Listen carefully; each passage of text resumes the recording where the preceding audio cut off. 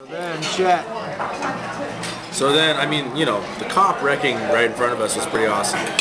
But then, out of the tow truck jumps this 300 pound, pants sagging, plumber crack, balding, old, hicked out dude who we've named Chet by this time. And so Chet comes out and Chris is in the driver's seat, ready to rock, get towed out of here, get to our hotel. We're totally tired, freezing.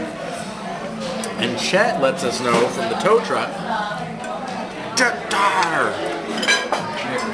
Okay, so that's what you start with. We have no idea what this guy's saying. I don't know. We, we nobody knows. That we have on video of him yelling and Chris going, "What?"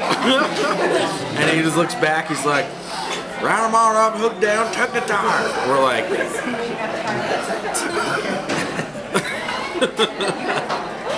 it's like seriously that the whole time, trying to understand this guy in redneck speak. It was terrible.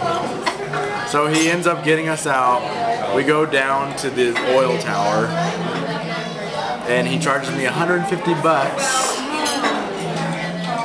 To which he says, "Sorry for your inconvenience, but thanks for your business." Oh.